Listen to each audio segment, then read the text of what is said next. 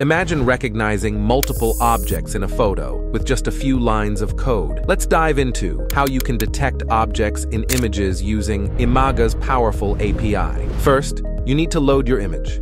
Since the image is stored locally, we'll load it. Next, import the requests library.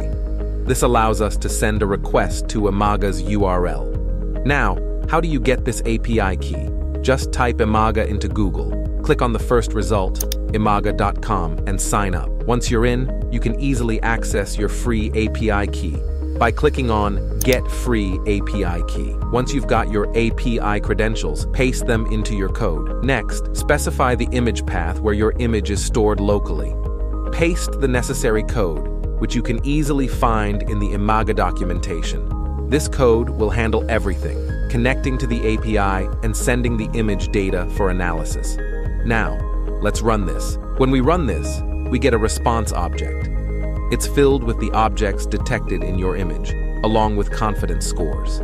For example, if the image contains a dog, Imagga might return dog with 86% confidence, or even detect specific breeds, like sled dog, with 61% confidence.